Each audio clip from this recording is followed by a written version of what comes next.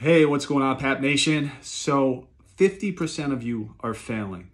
You've completely given up. You can't get used to your CPAP or your PAP machine. You've tried every single mask, you've tried ramp, you've tried absolutely everything. You still can't get used to it. I'm going to tell you what the last ditch effort is. We've worked with many doctors throughout the years to do the last ditch effort. It's been very successful for a lot of people.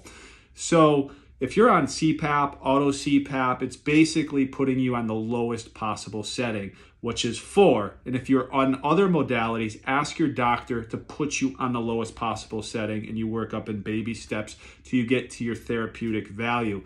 We've seen that time and time again in the past work so many times.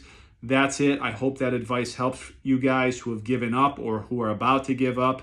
If you haven't subscribed, hit subscribe and God bless you guys.